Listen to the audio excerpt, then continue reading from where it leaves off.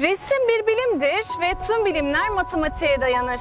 İnsanın ortaya koyduğu hiçbir şey matematikte yerini bulmaksızın bilim olamaz. Evet, çoğumuzun sadece ressam olarak bildiği paha biçilemez eserlerin sahibi Leonardo da Vinci. Dünyanın gelmiş geçmiş en büyük sanatçılarından ve dehalarından biri olarak kabul edilen Vinci aynı zamanda mucit, müzisyen, heykeltıraş, botanist, jeolog, haritacı ve ressamdır.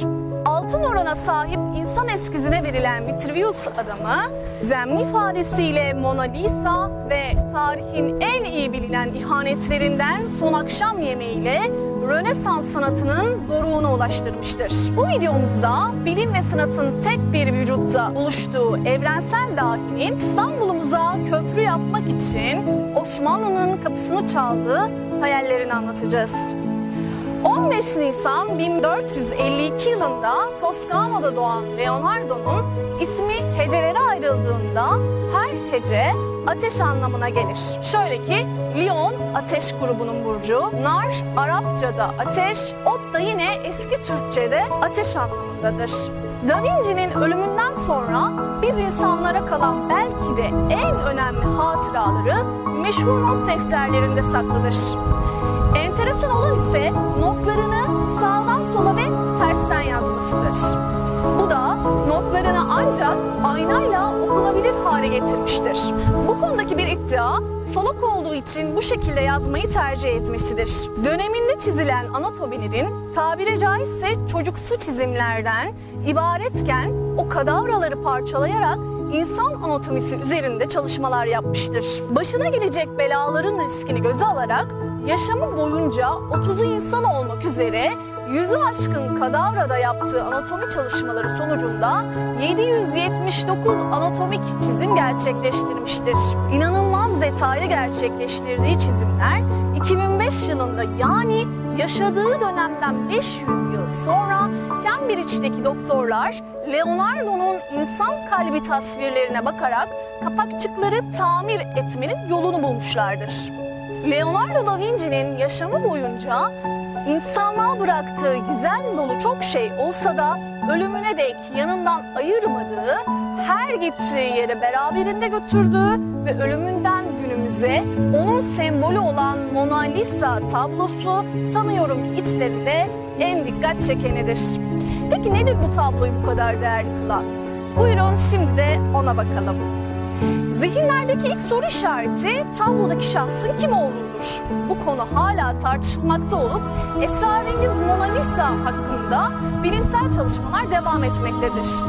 Leonardo'nun bu eserinde figürün arkasında uzanan manzaranın gittikçe soluklaşması, buğulu bir ton alması üstadın bir buluşudur.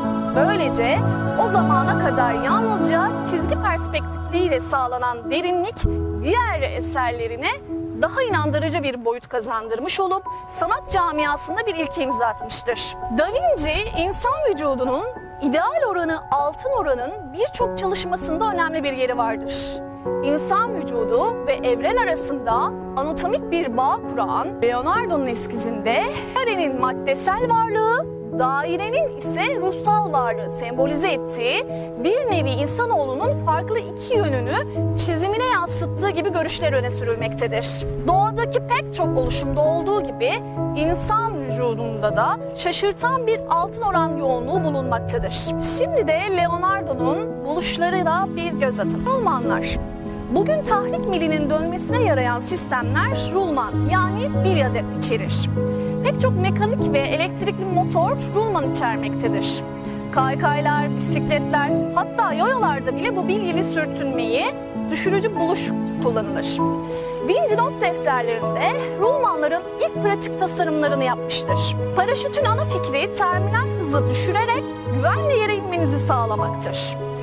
Da Vinci insanın uçmasını fikrinden yararlanarak piramidal şeklinde bir paraşüt tasarlamıştır. Not defterinde ise bir insanın yüksekten atladığında yere incinmeden inmesini sağlayacak bir alet tasarlamıştı. Bu alet günümüzde paraşütlerin atısı sayılmış ve günümüzde modelin aynısı yapılmıştır. Da Vinci'nin sürücüsüz kendi kendine giden arabası tarihin ilk arabası gibi gözüküyor.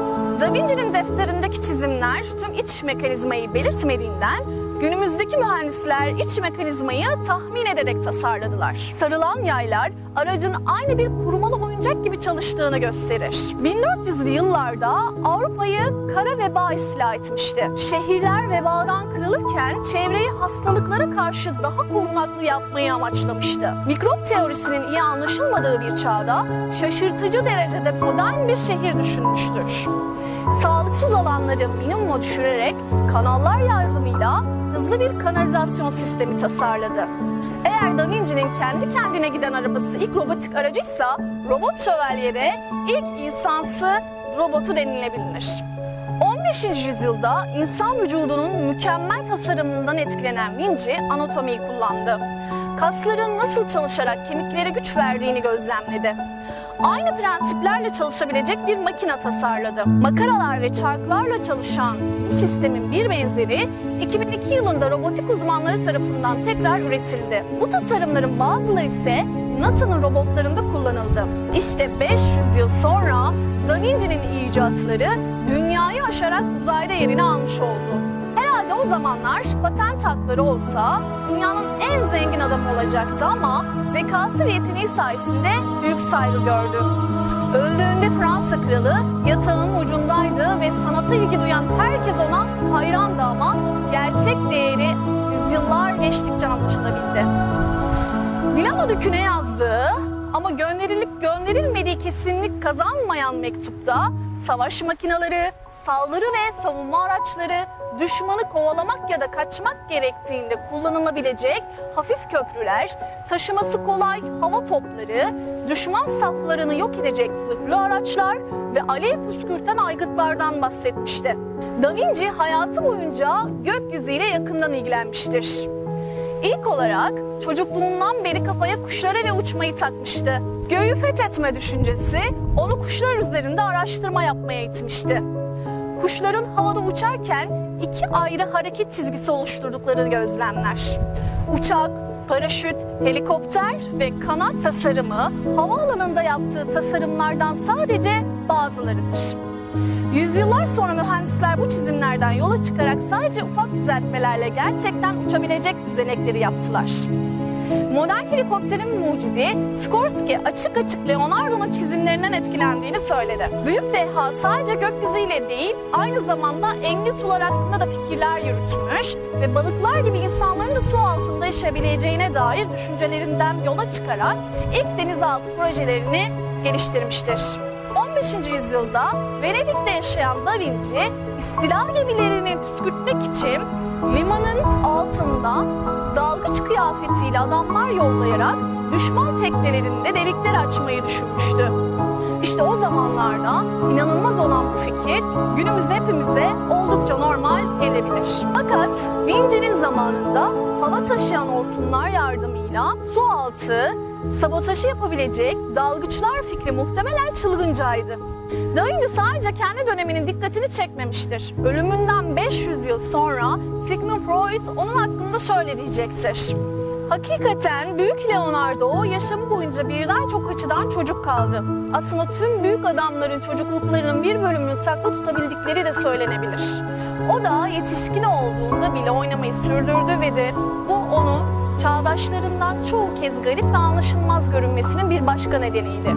Fatih Sultan Mehmet zamanında birçok sanatçının Osmanlı Devleti'nde faaliyet göstermesi, oğlu 2. Beyazıt'ın da Batı ile ilgilenmesinden dolayı bazı Avrupalı sanatkarlar sultanla temas kurmaya çalıştı. En başta bahsettiğimiz gibi Leonardo da Vinci Haliç'e köprü yapma isteğini bir mektupla 2. Beyazıt'a ileterek Osmanlı'nın kapısını çalmıştı. Osmanlı padişahı 2. Beyazıt Haliç üzerinden yolcuların geçmesine ve eşya nakline mahsus bir köprü yaptırmak istiyordu. 2. Beyazıt bu tasarısı için bazı uzmanların fikirlerini almıştı. Bu soruşturmanın ve köprü projesi fikrinin Leonardo'ya kadar ulaşmış olduğu uzun yıllar sonra bulunan bir belgeden anlaşılmaktadır. Bu belge Leonardo'nun 2. Beyazıt'a yazdığı bir mektubun Topkapı Sarayı arşivinde bulunan çevresidir. Bu mektubunda Leonardo çarkları rüzgarla dönen bir değirmenden ve gemilerin suyunu boşaltmaya yarayan bir tulumbadan söz ettikten sonra asıl konuya geçmekte ve Galata ile İstanbul arasında kurulacak köprüden bahsetmektedir. Leonardo bu konuda 2. Beyazıt'a hitaben şunları yazmaktadır. Acizleri Efendimizin Galata'dan İstanbul'a bir köprü kurdurmak için teşebbüse geçtiklerini işittim. Lakin bu işe ehil bir kimse bulamadıklarını öğrendim. Bu işten anlayan kulunuz arzularınızı gerçekleştirebilir.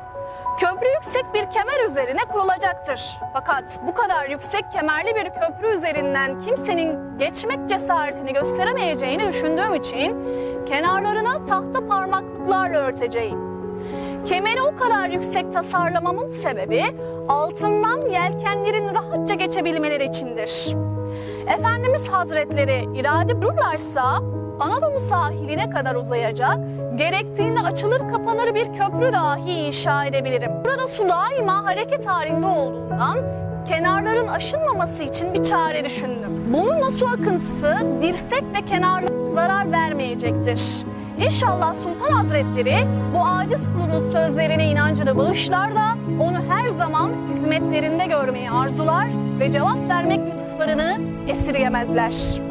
Belgenin sonunda bu mektup Temmuz ayının 3'ünde yazılmış ve yazılış tarihinden 4 ay sonra ele geçirilmiştir. Paris'te bir kütüphanede bulunan Leonardo Kodeksinde sanatkarın el yazısını içeren bir köprü taslağının Galata ile İstanbul arasına yapılacak köprüye ait olduğu tahmin edilmektedir. Bu taslağın tarihi kodekste 1502-1503 olarak gösterilmiş olduğundan mektubun da Osmanlı Sarayı'na bu tarihlerde gönderilmiş olduğu düşünülmektedir. İkinci Beyazıt'ın arzusuna ve bazı girişimlere rağmen İstanbul ile Galata arasında bir köprü kurulamadı ve İstanbullular 1836 yılına kadar şehrin bu iki yakası arasında kayıkla gidip geldiler. Mektuptan gördüğümüz gibi Leonardo sadece Haliç'e köprü planıyla yetinmemekte, Boğaz'a da açılıp kapanan bir köprü kurmayı önermektedir. Bu plan Boğaziçi için düşünülmüş, tarihteki ilk köprü tasarımı